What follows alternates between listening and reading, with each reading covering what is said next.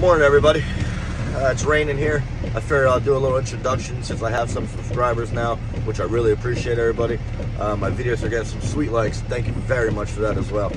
Um, start off, my name's Darren. Um, first and foremost, I'm a husband, a father, a provider, and protector. Um, and that will never fucking change. Um, I've been driving a tow truck for about 10 years now.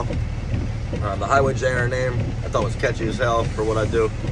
The 83 unfortunately comes from my brother who passed away working the highway um, March 8th, 2022. Uh, he was tra- tragically struck and killed by a passing motorist.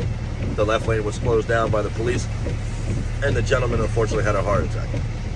No one's at fault. Wasn't a slow down, move over thing. The gentleman wasn't texting and driving. He wasn't drinking. He unfortunately had a medical emergency.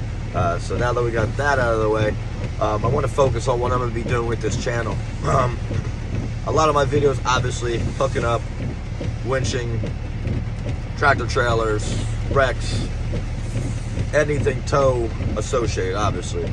Um, I'm also to throw some chimneys in the mix because that's what I do as well.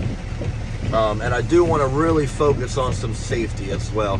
Um, what I'm seeing with the new generation of tow guys coming into the business is that they just don't give a fuck anymore. They're not heed to we fucking die. Motorists don't give a fuck about the tow guy.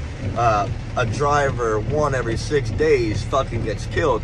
They're not realizing this. They're not seeing it. They're not hearing about it. They're not I don't fucking know what they're doing with their time, but they don't think that they're gonna fucking die. Um, so yeah, a lot of my videos will focus on the safety part of it, um, just because I'm so about it now. After tragedy struck so close to fucking home, um, you just gotta open your fucking eyes more. Um, so yeah, that's what I'm gonna be doing.